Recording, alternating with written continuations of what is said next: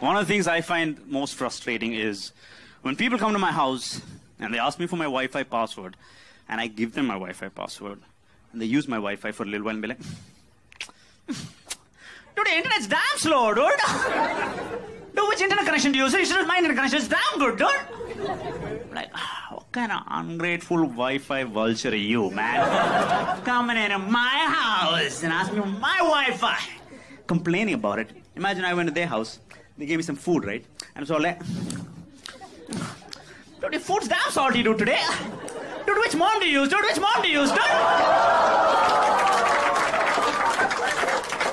Use my mom, she's great. For cooking, I mean, god damn it. Jeez. I've come up with some creative Wi-Fi passwords, you know, where I'm giving them the Wi-Fi password, but I'm not really giving them the Wi-Fi password. Here are my ideas for creative Wi-Fi password. Password number one is give me 500 bucks. yeah. What's your Wi-Fi password? Give me 500 bucks. For what? For what? What? Why should I give you 500 bucks? You want to give me 500 bucks? No? Then? then what's your Wi-Fi password? Give me 500 bucks. Why are you being so cheap, dude?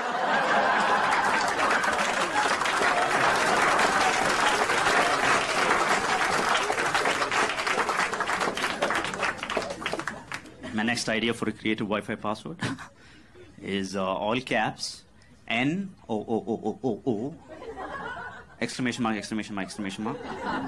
If anyone's like, hey, what's your Wi-Fi password? No!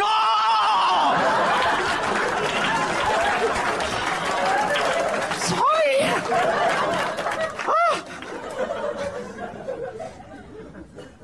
My last idea for a creative Wi-Fi password is uh, one two three four five six seven eight. Sorry, sorry. One two three four five six.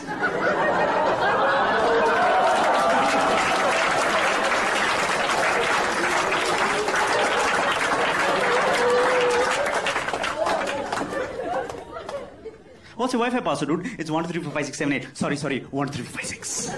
One two three four five six is not working. No, it's one two three four five six seven eight. Sorry, sorry, one two three four five six. if you don't want to give it to me, then just tell me. If you don't want it, then go, man.